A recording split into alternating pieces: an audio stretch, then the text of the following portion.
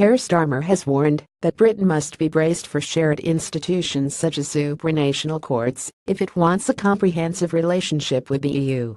Criticising Theresa May's Florence speech at a Scottish Fabians event, the shadow Brexit secretary said the Prime Minister's approach was inconsistent. He also repeated his call for the customs union to be on the table in a final deal.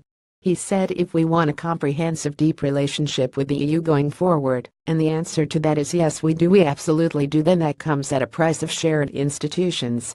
You can't have a deep relationship even on trade without shared institutions. In her speech, May acknowledged that trade and regulatory disputes would need to be brokered by a third party, but said this could be neither the European Court of Justice or the British courts.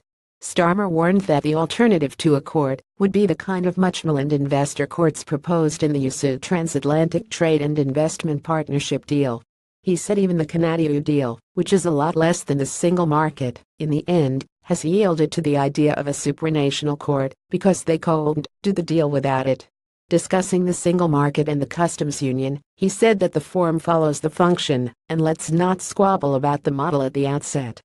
When it came to a final deal, Starmer said we should be flexible about a changed relationship with the single market, if that's what it takes, or something new, a bespoke agreement. As far as the customs union is concerned, it should be on the table as a viable option staying in a customs union.